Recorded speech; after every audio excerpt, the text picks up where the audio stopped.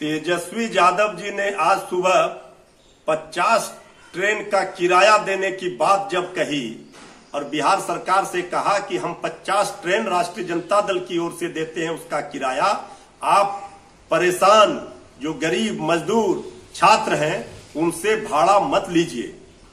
इसके बाद अपना फजीयत देख करके शर्मिंदगी जब सरकार को महसूस हुई, बिहार सरकार को तब सरकार ने आनंद फानन में यह निर्णय लिया कि हम गरीब मजदूरों से, छात्रों से पैसा किराया नहीं लेंगे और पाँच सौ रुपया उनको देंगे। देर से ही सही तेजस्वी यादव जी के दबाव के कारण सरकार को यह फैसला लेने के लिए मजबूर होना पड़ा। इससे पहले भी जब ट्रेन चलाई गई थी तो तेजस्वी यादव जी ने जब 2000 बस देने की बात सरकार को कही तो फिर उस समय भी सरकार अपनी फजियत से बचने के लिए ट्रेन चलाने की व्यवस्था की गई थी।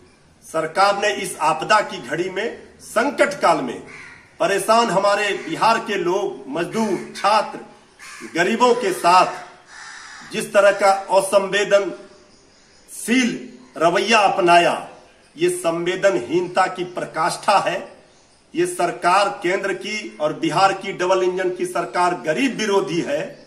ये उजागर हो चुका है और राष्ट्रीय जनता दल हमारे नेता आदरणीय लालू प्रसाद जी, तेजस्वी यादव जी, गरीबों के हक और हकूक के लिए हर समय खड़े रहने वाले हैं। ये इस बात को प्रमाणित करता है कि आज राष्ट्रीय जनता दल और तेजस्वी यादव जी के दबाव में आज गरीबों को, मजदूरों को, छात्रों को ये राहत मिली है। बिहार के लोगों को ये देश और दुनिया ने देखा।